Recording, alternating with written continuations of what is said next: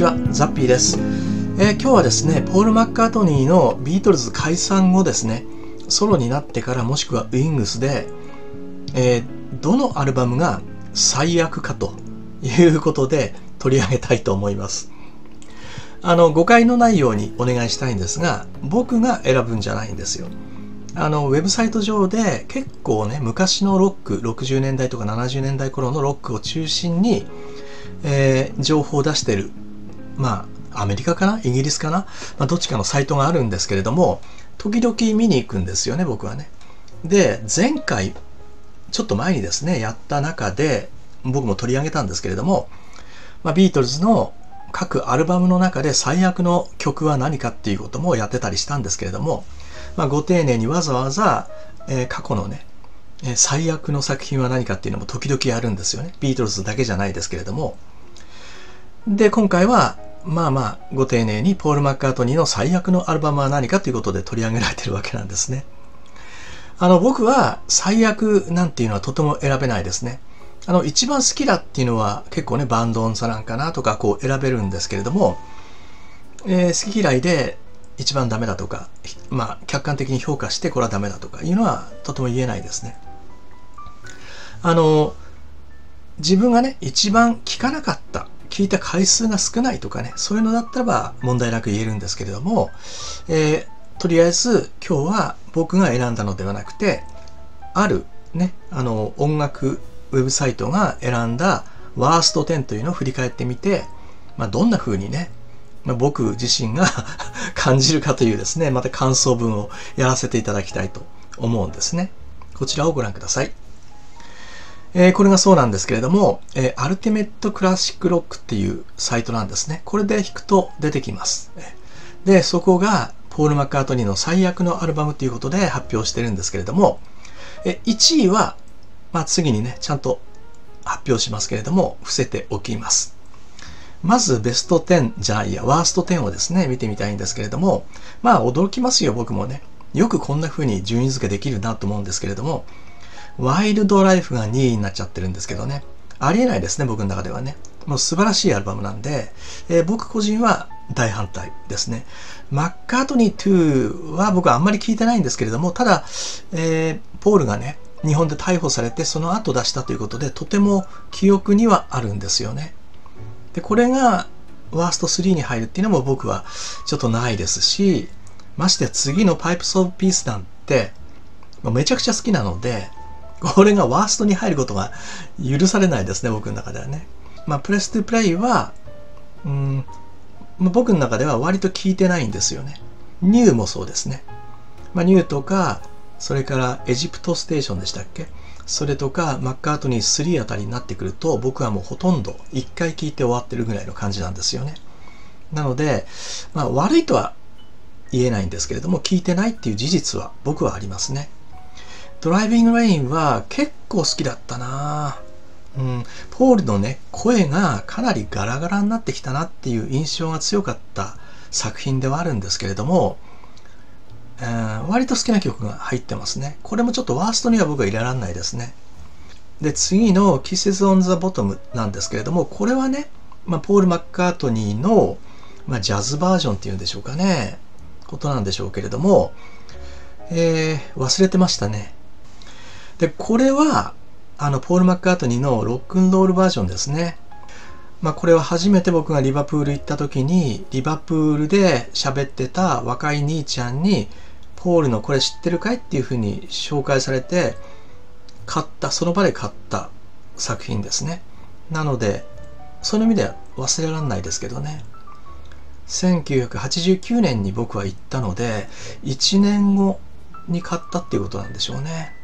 うん。まあ、嫌いではないですね。それから、Wings at the Speed of Sound。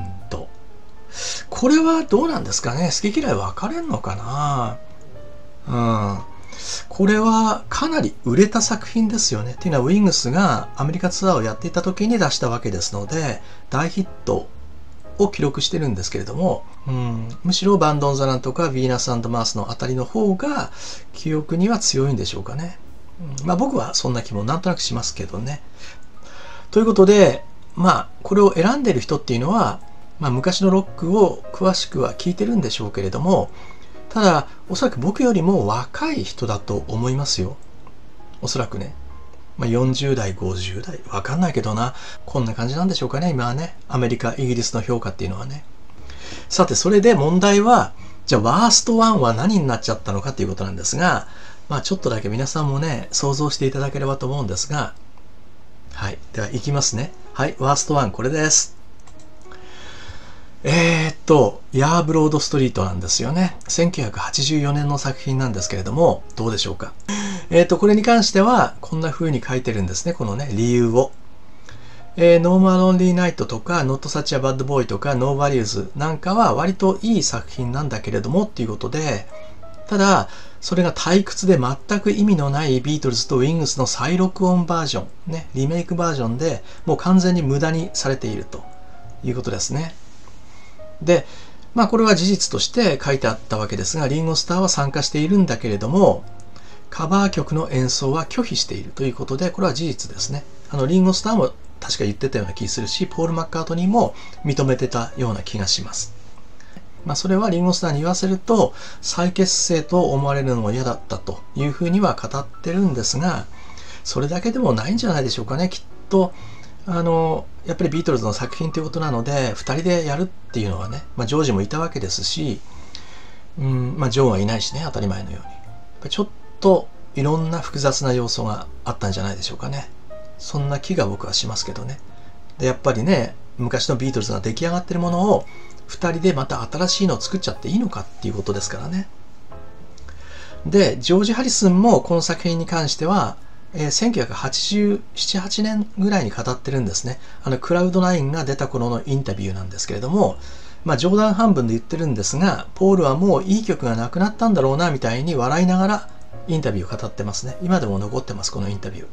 あの、とにかく、ポール・マッカートニーが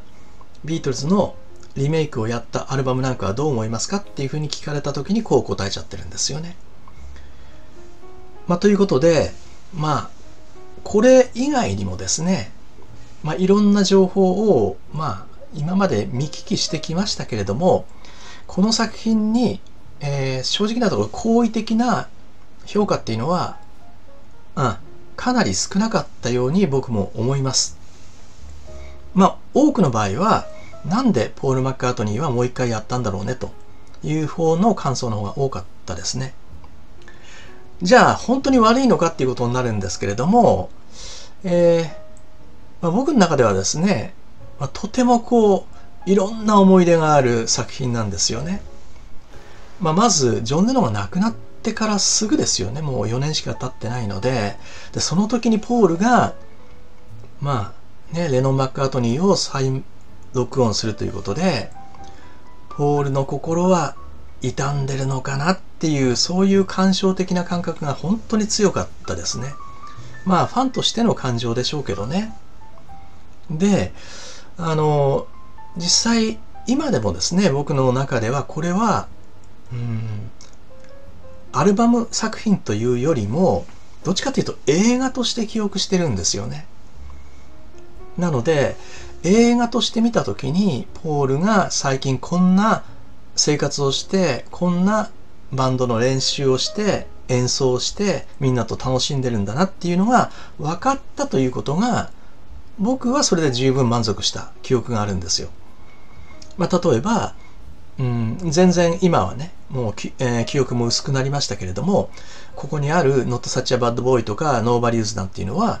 えー、映画の中でも演奏してますよね結構若いメンバーなんかも入ってましたしだけど、それは割と楽しめてましたね。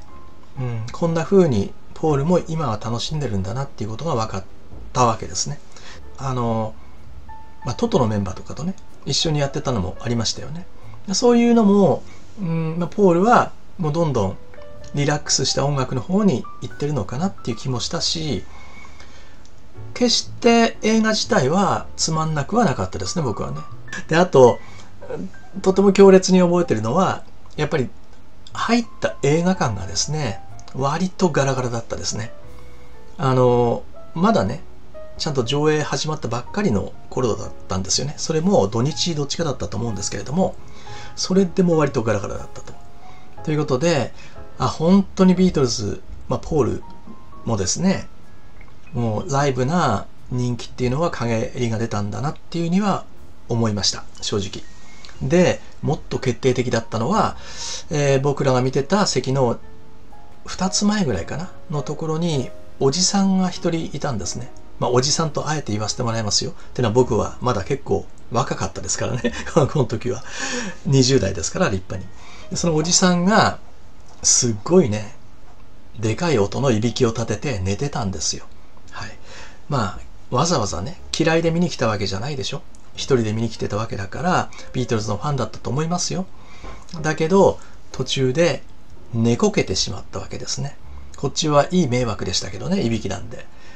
まあでも、やっぱり音楽を楽しむっていう風に期待してきた人が寝ちゃう映画っていう風になった時に、正直言ってがっかりはしましたね。うん、僕は楽しんでたんですけれども、やっぱりみんながみんな緊張感を持って最後まで見られなかったんだなっていうふうには思いましたね。というのはそんな経験をしたのは初めてだったですね。ハードデイズナイトにしても、まあヘルプにしてもね、それからレッド・イット・ビーにしても、やっぱりビートルズファンがもう本当にね、緊張感を持ってビートルズの映画を見てた経験しかなかったんですね。まあ、ところがここで、ああ、みんなもう緩んだんだなっていうふうには残念ながら思った経験もあります。ただ、何度も言いますが、僕は決して嫌いじゃなくて、映画の作品として考えると、とても自分の中では輝かしい、うん、記憶がありますね。なので、とてもワースト1には僕は選べないですね。まあ、一応、ちょっと振り返ると、ノーモア・ロンリー・ナイツは、うん、デビッド・ギルモアも入ってますよね。うん、その雰囲気で流れてきた時に、あいい感じだなと思った作品だったですね。やっぱりあとはビートルズのこういったリメイク版ですよね。グッド・デイ・サンシャイン、イエスタデイ、ヒア・ゼア、それから、え、フォー・ノー・ワンとかね、エリナー・リグビーとかありますけれども、ロングワインディングロードもありますね。まあ、音質は良くなっていて、綺麗に作ってるんですけれども、あ、ポールがリラックスしてやってるんだな、ぐらいにしか僕は印象はなかったですが、でも、うん、最低でもね、ポールはビートルズを本当に愛おしく思ってるんだなっていうのはよく分かりました。それが嬉しかったですね。でこの中で一番そうですね、僕は記憶に残ってるのは実はソーバッドなんですよね。これはリンゴスターとポール・マッカートニーがやってるんですけれども、とても僕は好きな曲で、本当に名バラードだと思ってたわけなので、これが映画で見れてとても嬉しかったですね。まあ、パイプス・オブ・ピースに入ってるやつですよね。あっちのプロモーションビデオも好きだったんですけれども、ここでやってくれて本当嬉しかった記憶がありますね。喜んじゃいました、映画見てて。あのもう一つ、なんか変に覚えてるのは、ノーモア・ロンリー・ナイツって、シングルバージョンが出た時に、こう、時間が長いバージョンかな？もう出たと思うんですよね、確かね。なんかこう、ディスコティックな雰囲気になってたのかな。そんな感じだったような気もするんですけれども。でそれがまあ僕のね友達の車に乗った時に流れてきて驚きましたね。全然ビートルズと関係ないやつがそうやって聞いてたのであそっかポール・マッカートニーもこういう流れの中に乗る音楽をね作るようになったんだなとか思った記憶がありますね。ということで、まあ、今日はねまあ、ワースト1と言われる作品を振り返ったんですけれども、まあ、僕はやっぱりファンだからでしょうね。ワーストっていうのは当たり前につけられないのと、ワーストと言われている作品としてもですね、やっぱり、えー、キラキラ輝く記憶っていうのはやっぱりあるんですね。やっぱりワーストの順位をつけるっていうのは、うん、一応ここでは反対しておきます。あんまり意味がないなと思いますね。でも、こういうふうにやられてしまうとね、ビートルズファン、まあ、ポールのファンとしてはあんまり黙ってもいられないので、今日は取り上げました。失礼します。